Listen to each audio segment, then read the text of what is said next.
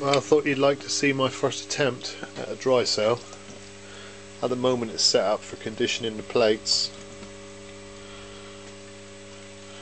Just draw in 25 amps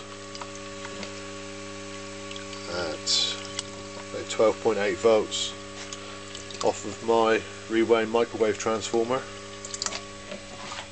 It seems to give a quite a good output current wise without too much voltage drop. I seem quite pleased with the um, output of the cell. What I've got in there is three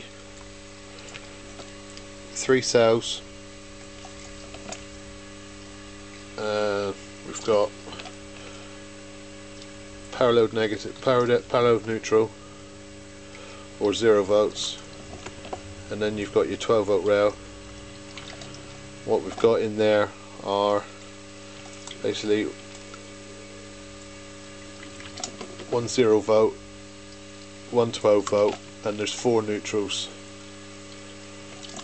And then you've got four neutrals between the next pair and another four neutrals between the final pair. At the moment just setting it up just to condition the plates like I said and uh, I'll strip it down once it's done a few hours and rebuild it into a 5 neutral or 6 neutral configuration.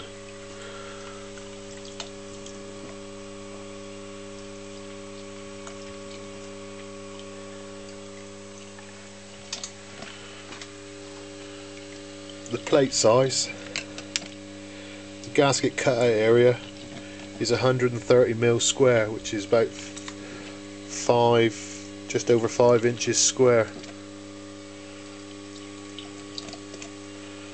Even even though it's a green cell the production the production is quite quite good.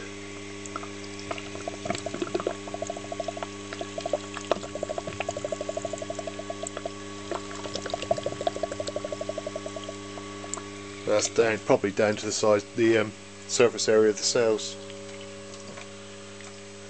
Anyway, first attempt at a dry cell, which I'm pretty impressed with.